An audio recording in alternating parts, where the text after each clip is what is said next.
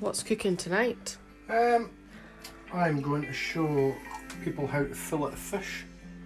Uh, in particular, a tilapia, which I've got wrapped in cling film at the moment. I got it frozen from the Asian supermarket, and I've never tried it in my life. I've never even filleted it. But the rules, pretty much for every fish, uh, are, are much as it's the same, unless it's a flat fish. Um, to drink with that, I'm going to have this Greyson Spiced Plum and Clementine Gin that I got from Aldi. So, tonic. It's my Fever-Tree. It's got minkers there. I'm going to top this up so I'm not bleeding. Right. So, I've never cooked this tilapia before. That's going to fall out. Like I said. But the method of cooking the fish is is uh, something that's a bit of a favourite of mine. There we go. Cheers. Oh, let's find that.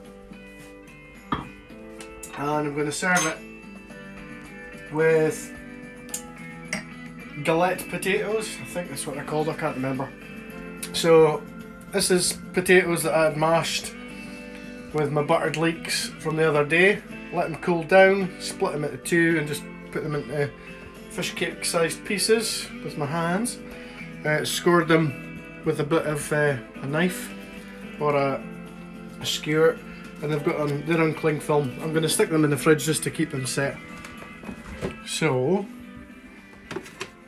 that's the first thing you would do if you don't have any mashed potatoes. You can do whatever you like, but I'd, I'd recommend mashing some and cooking some. So, um, in an oven-proof pan, if you can get one that's got a lid, even better. But if not, uh, now you could put whatever you like in the sauce. It's a version of sauce vierge, which is because it's got virgin olive oil or extra virgin olive oil. Uh, but I've got a few spring onions and some vine cherry tomatoes, which I've washed and quartered. I'm also going to put the stalk of the vine in, which will give it that wee bit of a flavour. And the juice of two limes. Now this is the first thing you do before you would fillet any fish, unless of course you've bought the fish fillet. So I'm just going to add this.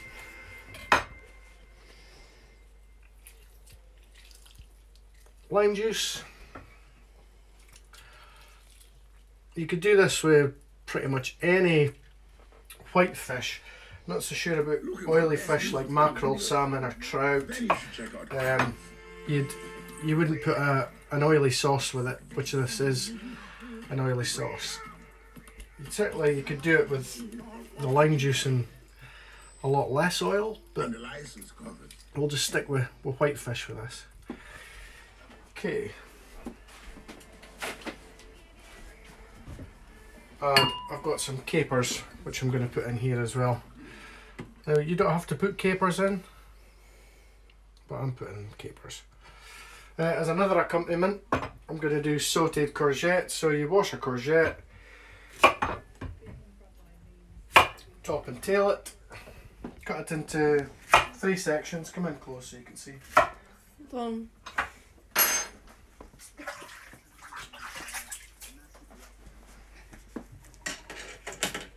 music. Music's good, died. This is nice and easy. You just cut along the length. I'll put that in here for later. You don't want to do this too far in advance. Because as with any fruit and or vegetable, they start losing their flavour. Right, I'll get tidied up and then I'll show you how to do the fish. Slurp. Slurp. Right, so this is my tilapia. So, most all fish really, you should give it a quick wash and give it a dry with a clean tea towel. Uh, so this has been previously frozen, but if it was fresh fish, when you want a fresh fish, what you've got to look for is nice bright eyes. Uh, they shouldn't be sunken in like this, but that's only because it's been frozen. and when you look at the gills they should be bright like that. Now, so this has been gutted. Uh, I'd be pretty fucking gutted if I was deed as well. Right. so I'm going to get rid of this cloth. Ideally you'd use another chopping board if you can. Oh, that's the opener. Right. So in a pair of kitchen shears and you want to cut off fins. Doesn't matter about the Danes, the Norwegians and the Swedes, but you want to get rid of the Finns. Because they're a crazy bunch.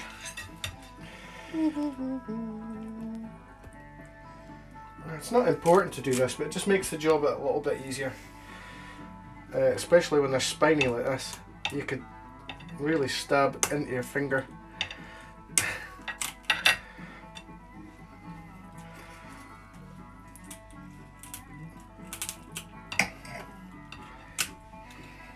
See okay through there? Yeah. Right, so and then cut from the back. Don't cut all the way down to the meat, but cut the spines.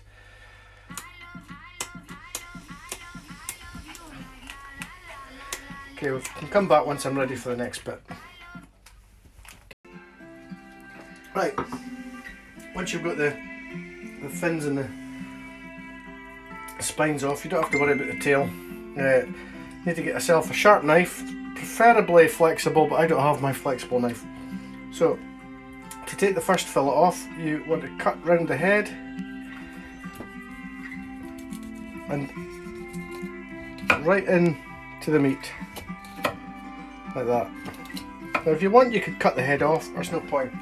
So, the first stage you need to do is, so you need to Stroke the fish. you stroke the fish. So the, the spines run down the backbone. So you want to insert your knife, come in about just where that cut is. And just cut along there. Along the backbone like that. Keeping your knife as close to the spine as possible. And then you just lift it up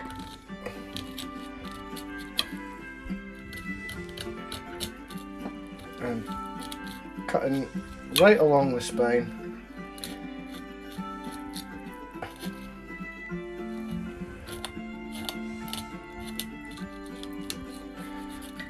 Through the tail.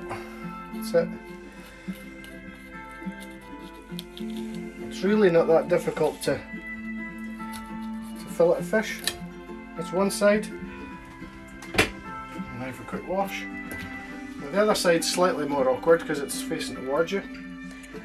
So again, knife in against the spine bone,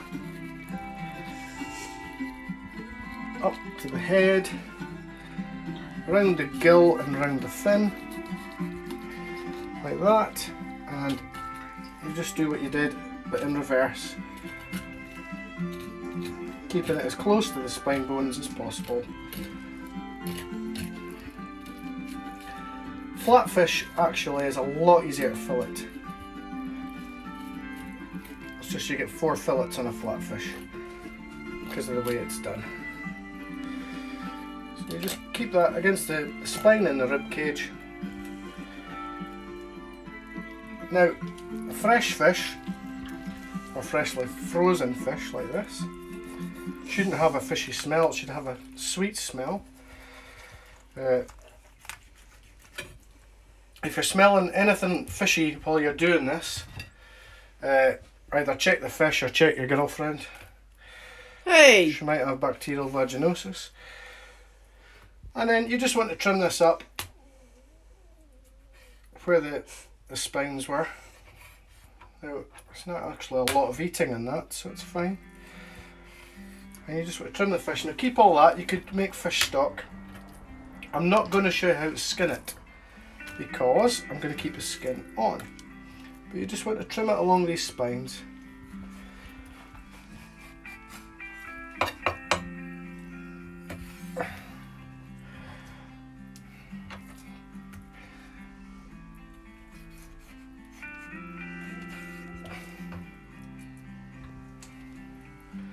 And then run your finger from head to tail. Make sure there's no bones. There's a wee bone in there. You cut that out. Now,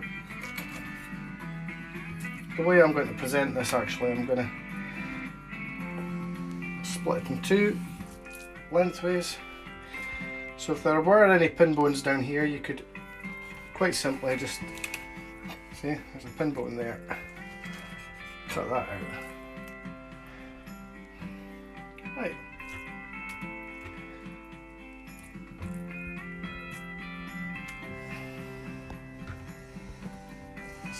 Just check. Yeah, there's some bones in there.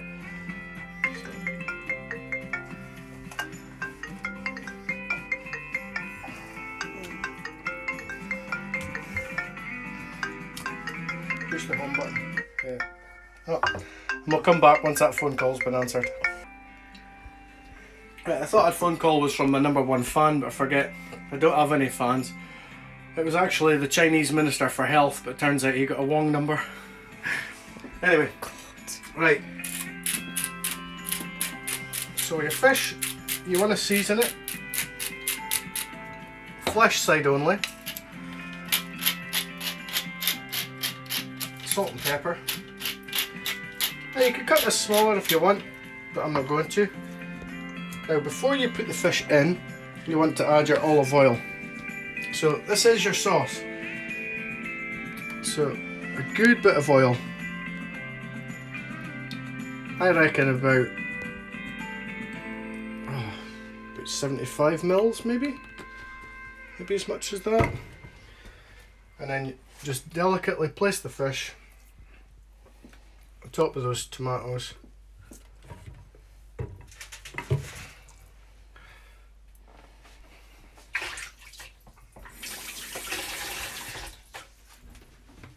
Now you could do this an hour in advance or a couple of hours in advance.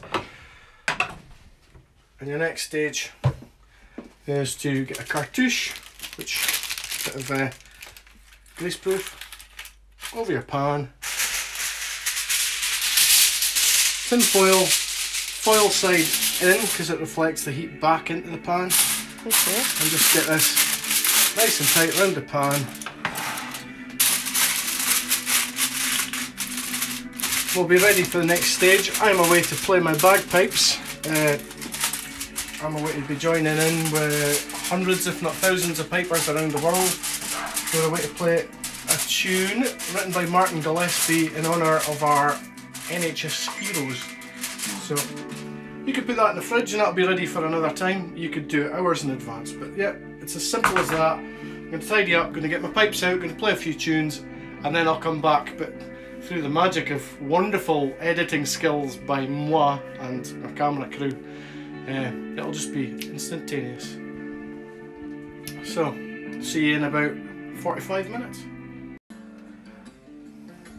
Right, so after you've gone outside and played your bagpipes to play for a charity single, you come back in. So oven has been preheated to 180 and you just put your pan in there. It's approximately 20 minutes.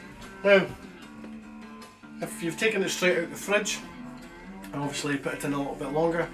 It really doesn't matter that much if you overcook it, um, because it's going to be steamed anyway, kind of moist and steamed in the in the sauce.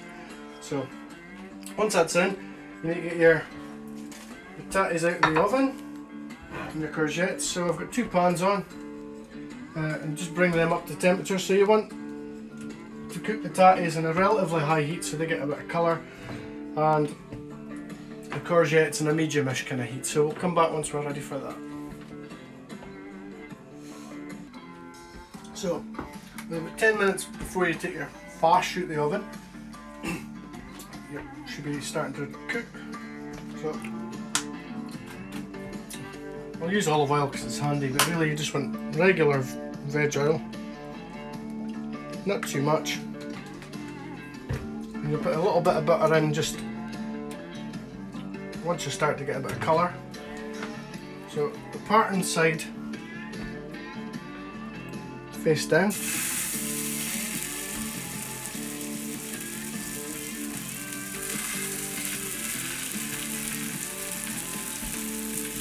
And season it if you want, but your tatties would be seasoned when you cook them. If you've got quite a lot of butter in there, they might break up, so what you want to do there is, before they cool down, is break in an egg yolk. Give it a good whip before you put it in the fridge and then shape it. So I'm going to put in just a small amount of butter, just to give them a bit of colour.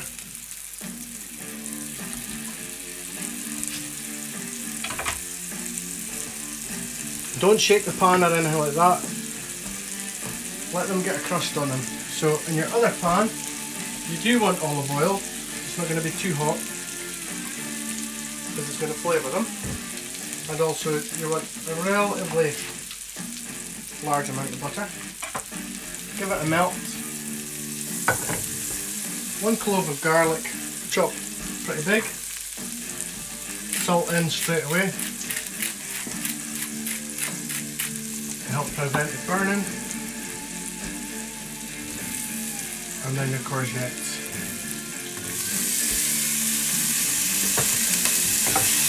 Give them a shake. More salt. Some pepper. Don't want them too high heat, but you want them to have reasonable space between them if you want to zoom in. So Smells lovely. Yes, that's garlic. So if you want to put them all in the back, like the local slag, they're uh, happiest when they're on their backs. That's very Bit rough, I sexist. suppose, yes. Anyway, you put a cartouche over the top of them and just let them steam. And once your tatties have been in a wee while, give the pan a shake, make sure it's not stuck. In my case, they've stuck. So, fish slice.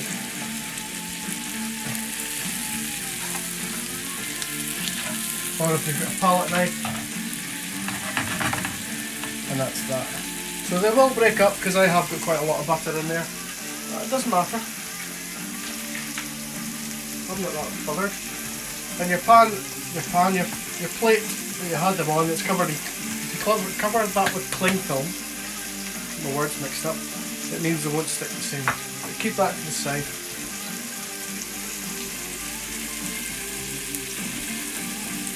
So just keep an eye on these veg, make sure they're not burning.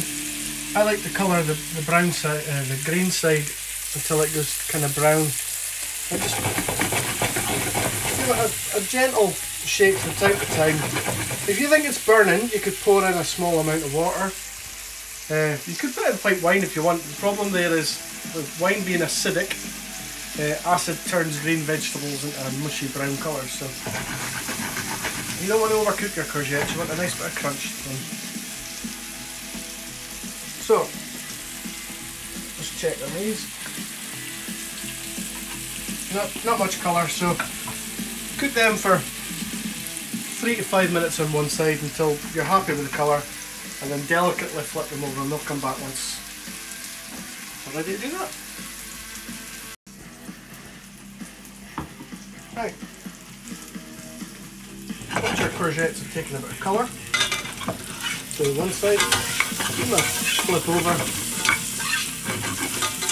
Doesn't matter if you don't get colour on, on the, the inside flesh part. But at this stage, you'll see the garlic's starting to get a bit of a nuttiness. So, I'm putting in a small amount of water, cartouche back on top, and heat off. And at this stage, I shall flip over my potatoes, which it's been absolutely pointless putting a bit of a pattern on them, but that's okay. I'll do that. They're ready. They won't take long. You want a nice crust on them. Uh, your fish shouldn't be long. Then a couple of minutes before you take the fish out of the oven, put your plates in just to warm them up. Okay. Yeah, I'll come back once I'll be fishing up. Ooh. Right, taking the fish out of the oven. A cloth over the handle so in case anybody else comes in wants to touch it. I've checked it. I'll show you in a minute. So it'll plate up. Hmm, it's hot. I'm leaving this pan on because I'm going to do something else with it. Oh, it's cozy because it's open over there. If you want, if you're so inclined, you could put some chopped parsley or, or whatever you like over the, the courgettes. I don't have any parsley, so I won't be doing that. So.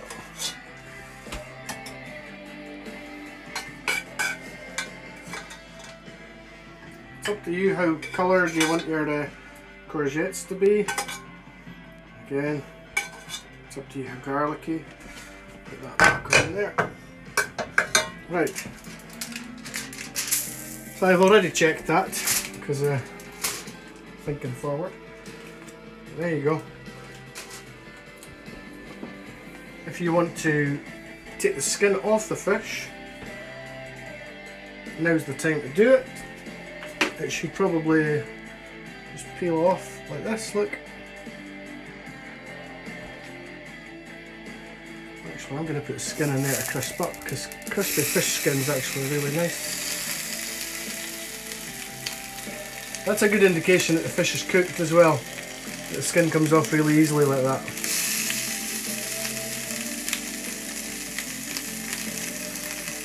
Not going to take, take it off of that side. Right.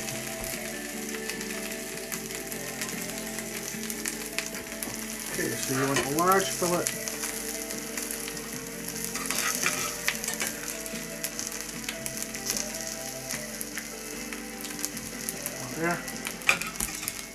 Fillet.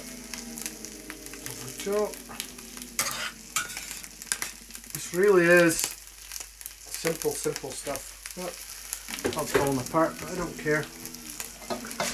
So some people's lives. Sam Smith, for example, he's uh, had a complete meltdown. Spunk trumpet that is. So the oil reduces from the fish and your lime juice in that combines to make a sauce. So it's not as greasy as you think because remember olive oil is pretty much a fruit juice. An oily fruit juice.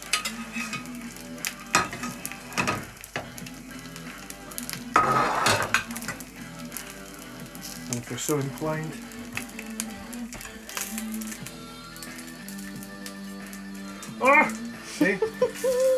Gel gelatine in the skin has meant that it's stuck to my fingers. And I definitely won't be eating that. Look away! 10 second rule. Just crisp up that skin a little bit. The one that's on the floor will be mine.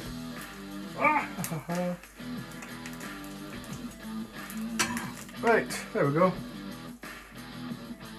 Tilapia with sauce vierge, courgettes and galette potatoes. I just for something slightly different. I made some bread dough yesterday. Kate can't have it because it was made with bread flour. I'm going to put a bit of garlic in there.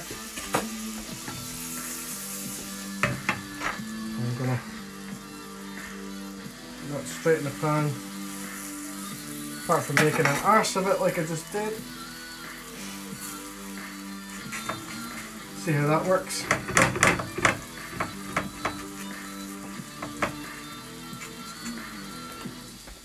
Anyway, that's just a wee aside. So this was the main dish. So, happy really crappy cooking.